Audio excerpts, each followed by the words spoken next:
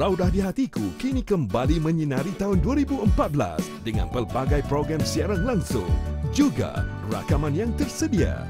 Kunjungi juga Bus Bazar Raudah, Lin Nisa, Banana Land, Tonton dan Hot FM. Segalanya di Stadium Indra Mulia, Ipoh Perak, 26 dan 27 April ini mulai 7 pagi hingga 6 petang. Raudah di Hatiku, imarahkan destinasi lengkap komuniti.